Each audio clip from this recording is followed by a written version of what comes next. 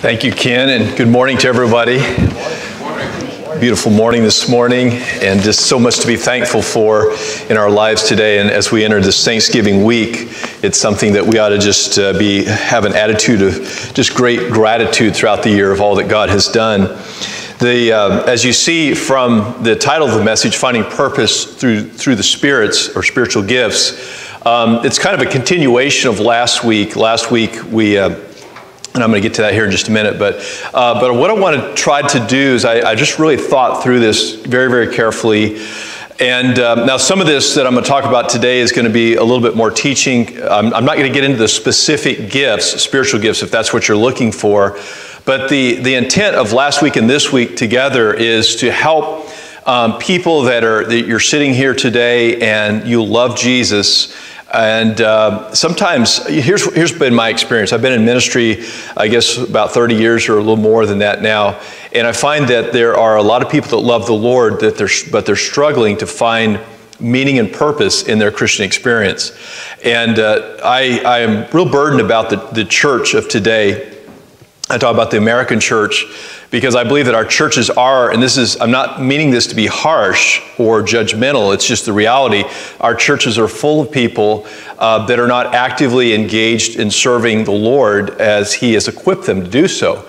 And uh, as, I, as I said last week, we just a little reminder from that is that we talked about finding purpose through the words of Christ. And we, we mentioned three major points there is, first of all, there has to be an encounter with Jesus, an encounter with Jesus. And I would encourage you this morning to to ensure that your faith is real, that you have a certain standing with Christ. I love the music that we sang this morning because so much of it spoke so with such clarity uh, about what it means to have a relationship with Jesus Christ. It's not by the things that we have done. It's not by our hard work and our effort or what church we attend or where we got baptized, but it's simply through the blood of Jesus Christ, which was offered as a perfect, complete, and a final sacrifice uh, for our sins. And, and, by the way, don't, if you feel like, uh, are you being singled out as a sinner? No, because the Bible says we've all sinned. Uh, so nobody here is being singled out. We are all sinners. We come to the cross on, on an equal footing, regardless of where you've been. In fact, Paul gave this testimony. He said that he was the chief of sinners. And I used to say this all the time to people that if God could save the chief, he could certainly save the rest of us, right? And, and Paul was the chief of sinners. And so we can, we can be assured today that if we want to have a relationship with God, if we want to be forgiven, if we want to have eternal life, that we can have it, not through this church, not through me as a pastor or, or any other pastor or evangelist or missionary, or whatever it may be, but we can have salvation, we can have the assurance of eternal life through Jesus Christ, and thank God for that. So there has to be an encounter with Jesus. And as I mentioned to you last week, it's not typically something that we schedule and plan out. Uh, the day I got saved, I did not know until that very moment. I didn't know until I was encountered with the Word of God through the Spirit of God that that was the day that God was going to save me. And perhaps today you're here and, and uh, uh, you came in here for whatever reason it may be, and uh, you didn't put it on your calendar today to meet Jesus, but today might be that day. And so I want to encourage you to be praying and thinking about that and opening your heart today uh, to the words of Christ because today may be that encounter that you have with Christ. And secondly, we talked about an invitation, and Jesus said there to follow him. And it's, a, it's an invitation to everyone. Jesus is not looking for the smartest and the brightest and the best looking and the most educated. Thank God for that, because that way we can all be there. And He is simply inviting all of us to come and, and, and, again, I think this is the tragedy of the American church today is I think that there are many people that will fill the pews of our churches across St. Petersburg, across Florida, and around North America. Many people will be sitting here today, but are truly not following Jesus. Uh, now, the Bible speaks of those having a form of godliness and denying the power of thereof. It's very possible to look godly uh, and yet deny the power. And so Jesus would say to you, Follow me. Follow me. And we know that when we follow him, he says, I'll make you. In other words, I'll transform you. I will change you. I will do everything that you need to have done in your life to allow you or to make you successful at following me, is what Jesus would say. Thirdly, I mentioned last week that there's a decision that has to be made. And this is the hard part for us because, you know, we got a hold of our nets, we got a hold of our security. Remember, I brought the net last week, and that represented the, the disciples and their income and their, their, their past and their present, their future. It represented their families, it represented literally everything. And perhaps today that you're holding on to something and you're struggling to give it up. And uh, I would encourage you today to make a decision. The most important decision that you'll ever make, of course, is to follow Christ. You see, the disciples could never discover their purpose with Jesus until they dropped their nets. And I, listen, I've met people, and I'm, maybe some of you have had the same experience, that I've met people in church life over the years that. Um, it seems like uh, it's just kind of a sense of apathy or a sense of mediocrity until there just something happens in their life when the Lord gets a hold of them, and some, for whatever reason, they decide at that point to give up everything and to go with Jesus. And then that is when they discover the fullness of all that God has for them. And, and I would encourage you today to, to let go of whatever it is that's preventing you from getting close to Jesus.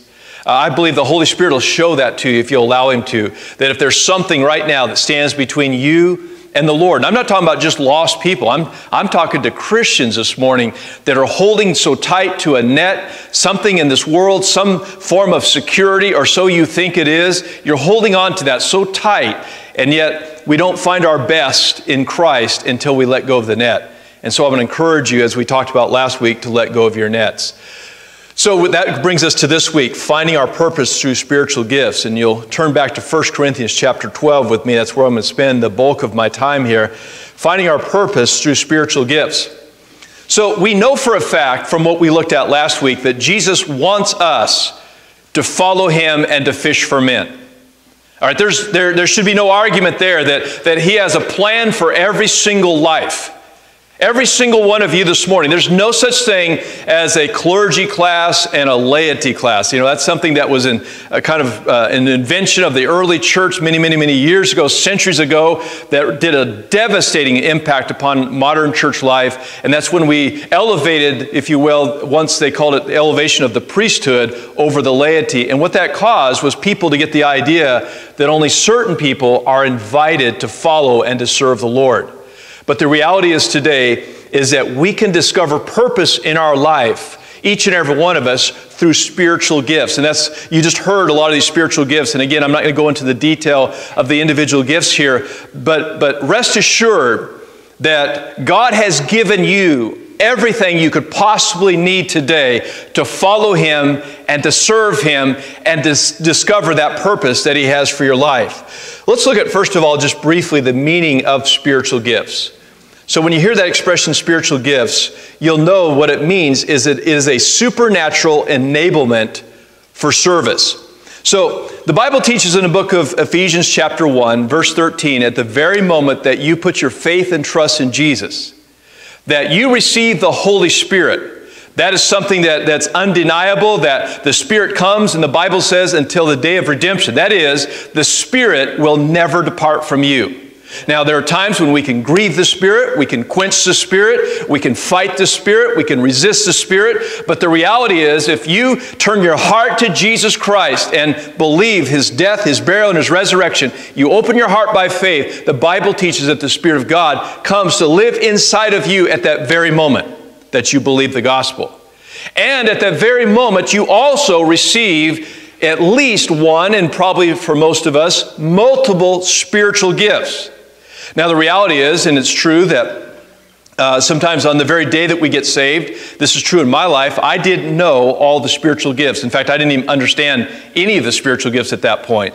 But the reality is, at the very day and hour, the very moment, the very second that you were saved, not only do you receive the Holy Spirit, but you receive the spiritual gifts. You see, you are a gifted person this morning. Not just simply by men, but you are gifted by God. And in fact, according to our definition, it's a supernatural enablement. You are able to serve the Lord. I've been in ministry a long time and I've heard so often people say, you know, Pastor, I, I really want to do something, but I just, I just don't feel like I can serve God. I don't feel like I can do it. But can I tell you that according to what a spiritual gift really is, it is your ability to serve God, not, not by you mustering up the, the strength or whatever it may be, but God Himself places that ability inside of you. So, as you sit there right now, if you're a believer and a follower of Jesus Christ, you have every ability that you need to serve the Lord. And by the way, I think that's where we find our purpose. You see, God didn't leave us behind just to muddle through this life and to try to, you know, bang around and try to figure out what we're supposed to do. I believe that God planted in the heart of each and every one of us an eternal purpose. And by the way, that's not something to be afraid of. I'm not up here with a bat, you know, ready to beat you over the head if you don't serve the Lord. I know there's, in my background, I, have spent enough years in churches like that where you feel like you're about to get hit over the head if you don't do something. You know, but the reality is it's not something we have to do, it's something that we get to do. Do you realize what a privilege it is to have the creator of all the universe to invite us? I mean, think about us to serve, and not only to invite us, as we saw last week, but he also enables us to serve. Now, that doesn't mean that we are serving, it just simply means that we have the ability. As you sit there right now as a believer in Jesus Christ, you have the same Holy Spirit that any other believer in history has ever had, and you have gifts that God has given you to make you uniquely qualified to serve, and by the way, I think to find purpose. So it's, an, it's a divine enablement for service. That's the, uh, the uh, meaning of spiritual gifts. It's not a natural talent or an ability. Uh, it's not something, you know, some people uh, maybe have the ability to sing, and, and thank God for that. Uh, certainly, I don't have that one. Um, there's a lot of natural talents people have, maybe in construction or maybe uh, computers or things like that. It, it, that's not what it is. In fact, I think sometimes we get them confused and we see talented people doing things, and so we assume that maybe we're not gifted because, well, I can't sing and, and uh, I can't play a piano and, and I can't preach, so, so I guess maybe I'm left out. No, the truth is, it's not according to our natural talents and abilities. And by the way, it's not the product of human effort. It's not something that you're going to have to go out and study. And, and, uh, and by the way, I'm not against education and training and so on, but it's not something that, well, after you get your PhD, then, then you could serve. Then you're qualified. And I know a lot of people like that too. They'll, they'll look at a pastor and they say, Well, you've been to seminary, so, so I could see how you could teach the Bible. And, well, you know, I'm just not educated. The truth is, today, it's not according to our education, it's not according to our efforts, it's not according to how smart we are. It's simply something that God gives to us. Now, let's look at the description of these spiritual gifts. Found in verses 4 through 6, there's three summaries I'm going to give here. First of all, there are many kinds of gifts to be received. There are many kinds. And so, in this room today, I would guarantee you that every spiritual gift that God offers is somewhere found in this body. Because there are many different types. And by the way, as we saw in the text, we're not to compare ourselves with somebody else or wish that we were like this person or that person, because God has uniquely equipped you just as He desires you to be equipped. So there are many different types of gifts to be received. Secondly, there are many types of ministries represented. You might have, you know, children's ministries. You might have music ministries. You might have uh, preaching ministries. You might have uh, ministries of helps and encouragement. You might have ministries of teaching or whatever it may be. But there are many, many types of ministries. In this body, it's not a one size fits all. We don't need a hundred preachers. We don't need a hundred guitar players. But what we need is every person to simply to discover the enablement that God has given to you and to follow whatever that is that God's equipped you to do. And that's when the body becomes the healthiest. So there are many types of ministries and then finally there are many different outcomes from the gifts that are used. What that means is is that you know sometimes we have a tendency in, in America here we like to think of success as having more. So we think of an outcome is that, you know, the, the only way I can know that I've been successful is if I produce some great number. But the truth is that the, the production is in the hands of God. In other words, the fruit is in the hands of God. I can't manipulate things and make them happen in a way that pleases God. All right? You know, there's, there's, there's ways, of course, that we can do that, but they certainly don't please the Lord.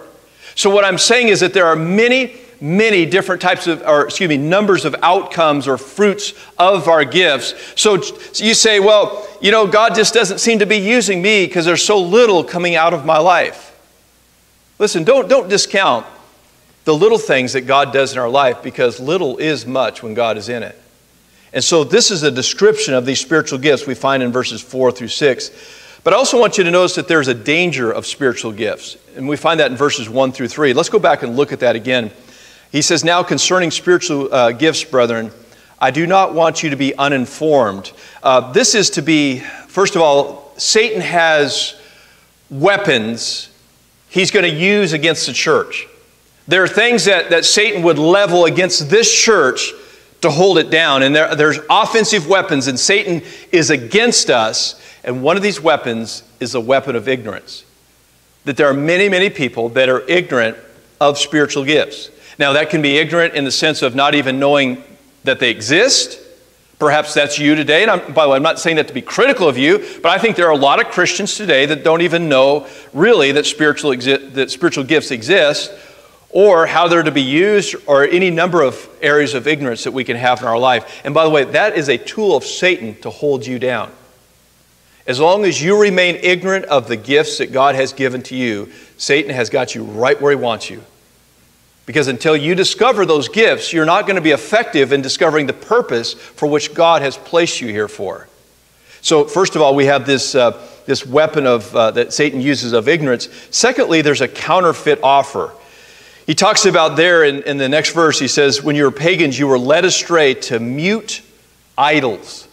What a description. Mute idols. By the way, mute idols is simply a, false God. But the description there is a mute idol, which I think is important because the Holy Spirit placed that word in there, which gives you the idea that these false gods, they cannot speak.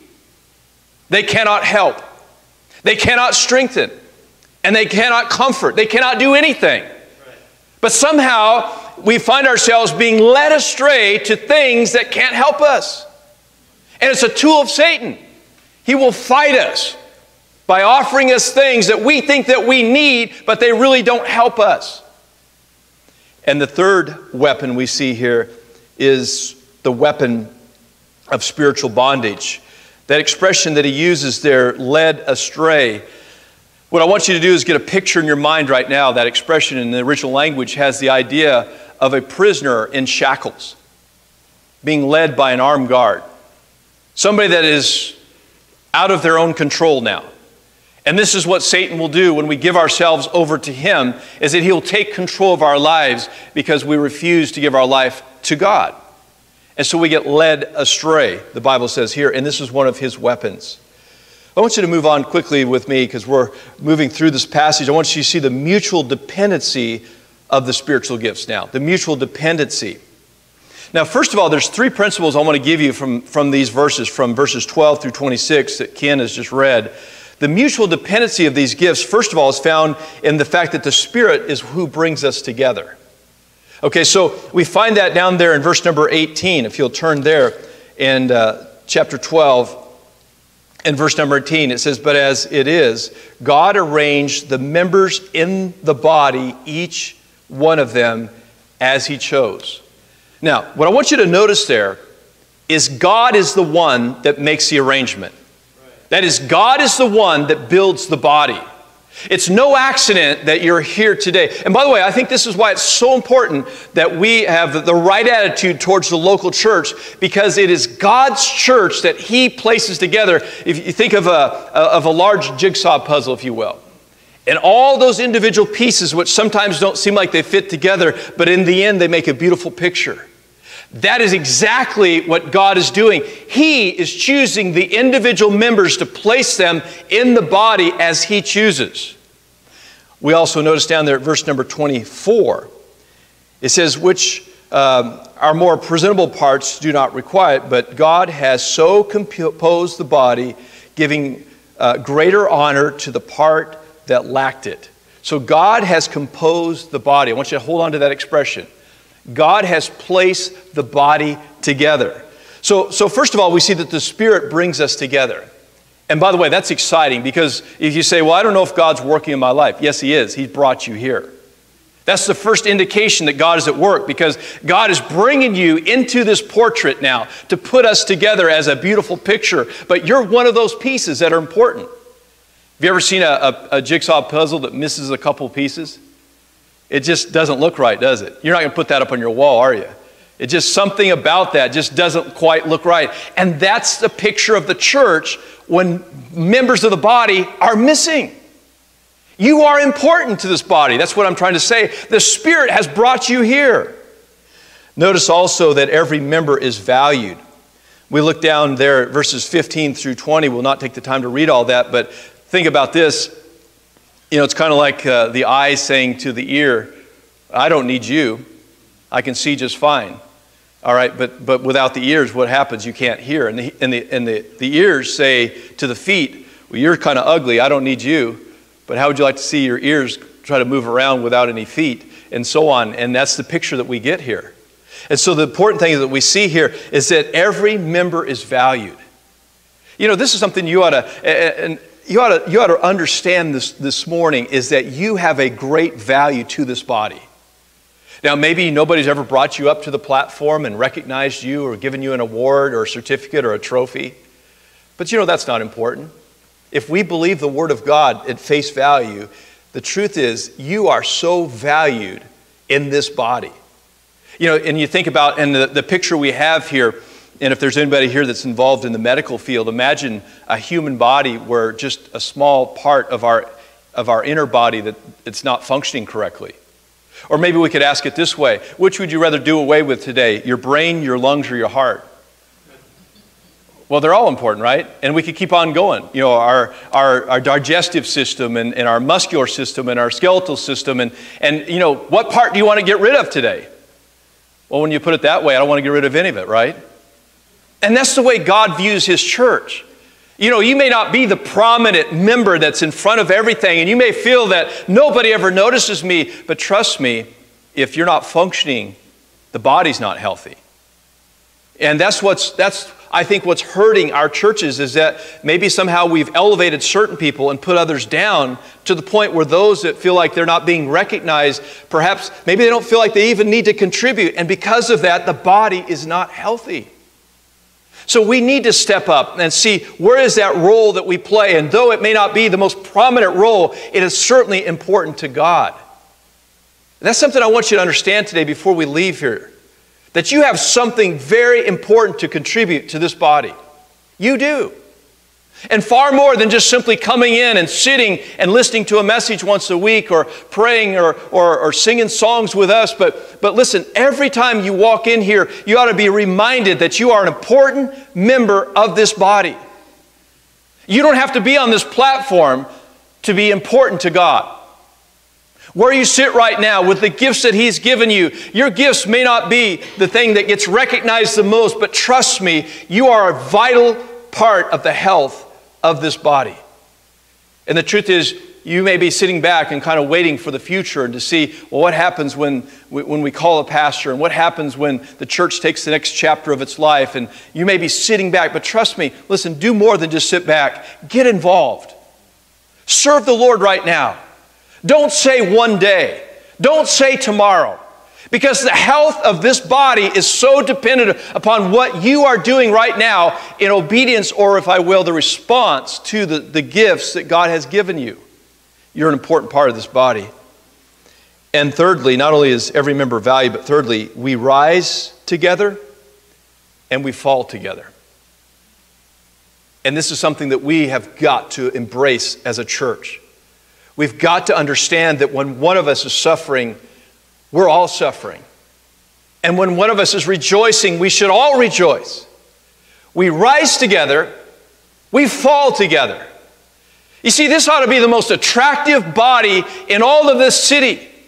There's, I just think about this, there's thousands of bikers on the beach right now.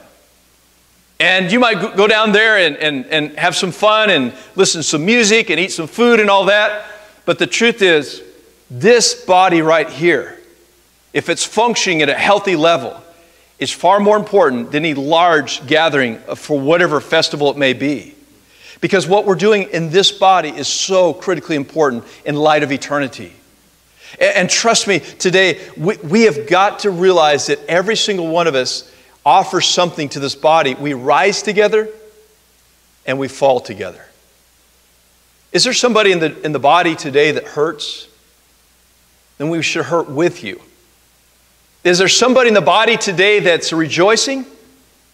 Then we should rejoice with you. That's the mutual dependency of the spiritual gifts. We cannot all be an eye. We cannot all be an ear. We cannot all be an arm. But together with what we are, we can make a beautiful body together. The next thing I want you to notice here is uh, the giving of the spiritual gifts. We find that in verse number seven, and this is really important. I want you to turn back to verse seven. Verse 7 says, To each is given the manifestation of the Spirit for the common good. So we see the purpose of the spiritual gifts is first of all to manifest God. I want, you to, I want you to hold on to this with me. Look at verse number seven again. But to each is given the manifestation of the Spirit. So, what is a spiritual gift? We can see a spiritual gift here is a manifestation of the Spirit. Now, manifestation is a, is a simple word which simply means to, to make clear. So, you know, if you read your Bible, the Old Testament, the most prominent member of the Trinity that's exposed there is God the Father. As you get into the Gospels, you'll find that the most prominent member of the Trinity is the Son. But in the church age, the most prominent member of the Trinity that we should see is the Holy Spirit. But how do we see the Holy Spirit? To many of us, the Spirit seems to be such a mystery. Some, in some versions, we see the Spirit uh, translated the Holy Ghost, and we think a ghost, you know, that's a real mystery. But the reality is that, that He has given each and every one of us a gift so that He is manifested. So, and we could go back and look at those listing of gifts. So, as we go out, as we do the gifts of mercy, let's say, as we do those, as we follow that gifting in us, if we have the gift of mercy, and as we exercise mercy in our life, then people can see the Holy Spirit in us and through us. That's what it is a manifestation. You say, Boy, I just wish God could show up in our community. He can, and He will. This is His body. And as we exercise our gifts in the community and towards others, then people can see that's more than a religion. That's more than just some kind of social club. But there's something special going on over there because that's God. You see, God is different than all these other things we could talk about. But how can people see God? Through the manifestation of the Spirit. So, first of all, the purpose of spiritual gifts is to manifest God. And then, secondly, we see here for the good of others. It says there in verse number seven, it says the manifestation of the Spirit for the common good. See, here's the problem with spiritual gifts. If, let's say that this represents my spiritual gift, this gift that God has given me is supposed to be to help other people. It's not for me. All right? So that's what it says here. It is to manifest God to help other people. Let's put it in uh, kind of a paraphrase it that way. So this is my spiritual gift. What does God want me to do with it? He wants me to share it with other people. He wants me to use it in ministry to others. But watch what happens. So many people who profess to know Christ are taking their spiritual gifts and they're tucking them away somewhere in private. Now, what good is that to you now? Oh, it might make me look good, right? Because I still have the gift, and, and you might say, wow, look at that, that gift that he has. And what ends up happening is we then elevate people rather than God. But this gift was not meant to put in my coat pocket. This is to manifest God and for the good of others. And so, the longer that you sit on a spiritual gift, the more that God remains hidden and people are not receiving the good that they should from you. Now, I don't say that to put a guilt trip on you. That's not why we should serve God. But you're sitting there today, maybe feeling sorry for yourself or feeling dejected or put down, like you have nothing of value to offer. So you take the spiritual gift and you hide it away, and God is saying, No. That gift is to manifest me and it's to help other people. It's urgent today that we find out what it is that God has gifted us with, and we use that then to manifest Him and for the good of other people.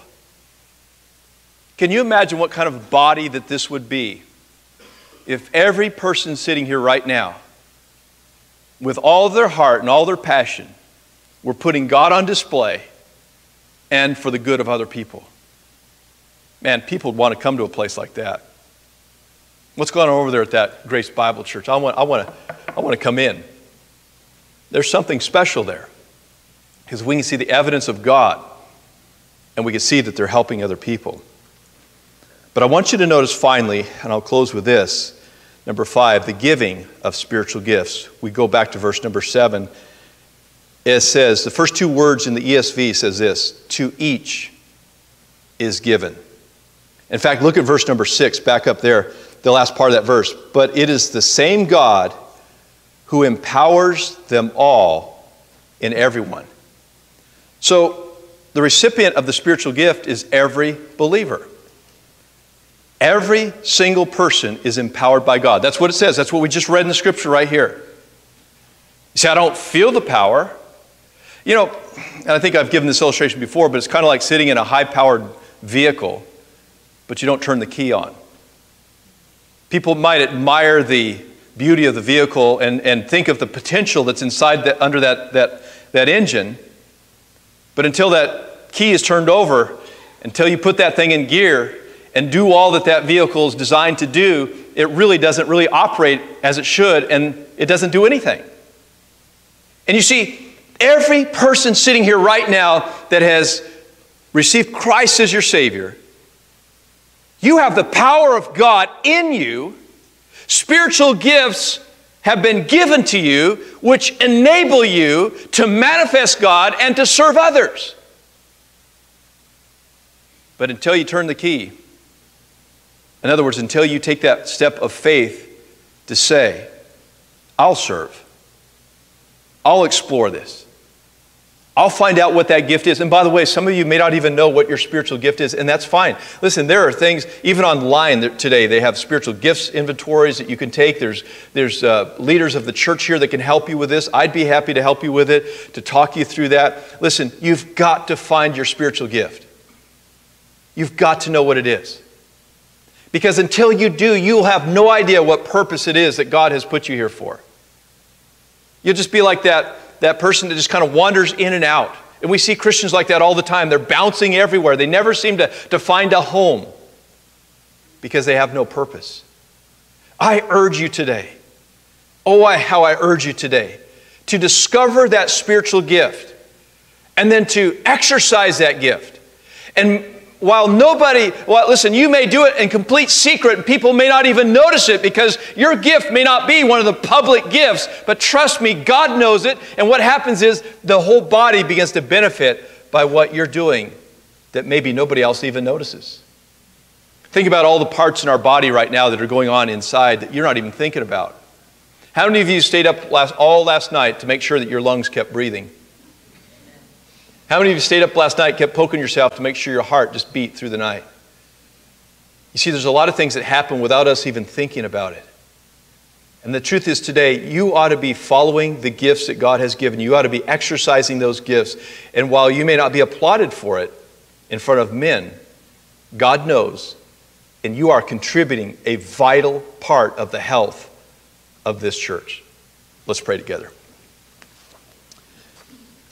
With our heads are bowed for prayer, perhaps there's somebody here today and you can't have a spiritual gift until you have the Spirit of God living in you. I urge you today not to, to join the church or get baptized or do some religious thing, but I urge you today to do something very simple. The Bible says that whosoever shall call upon the name of the Lord shall be saved. It really is that simple. That Jesus has provided everything. When he hung on the cross and shed his blood and died, when he died, he said, It is finished.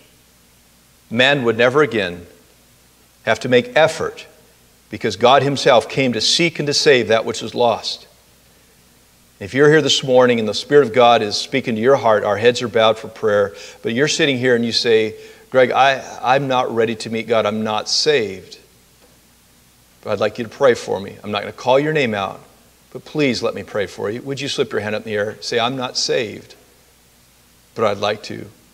I'd like you to pray for me. Would you slip your hand up good and high so I can see who you are? Just put it up, put it right back down. Maybe you're here this morning and I anticipate this would be true. You say, Greg, for whatever reason, I'm not exercising fully the gifts that God's given me. Maybe it's that you don't know them. Maybe you've just put them on the shelf for a while. I, I don't know. I, I'm not your judge. But who would say this morning, Would you pray for me, Greg? I want to exercise those gifts that God's given me. Just a simple invitation. Would you raise your hand? Let me pray for you. Well, many, many hands have gone up. That's great honesty. Thank you for that. Anybody else before I pray? I'm not going to call your name out, I'm not going to embarrass you. Father in heaven, thank you so much. I saw a number of hands going up. Father, I pray that I know that my words are feeble and sometimes my thoughts are not clear, but God, I pray that the one thing that's clear today is that you have been a wonderful, gracious God. You've given us the gifts of the Spirit. And so, Lord, I pray today for those that specifically that raised their hand today that would say, God, help me. I want to live out, I want to express these gifts. I want others to benefit by what you've given to me. So, Father, I pray, Lord, if it's meaning to discover what the gift is or how to use it or whatever it may be, God, I pray that they'll not just sit on this knowledge, but Lord, I pray that they'll seek out help. Thank you, God, for this wonderful opportunity that we can have to take the next step in our faith. In Jesus' name, amen.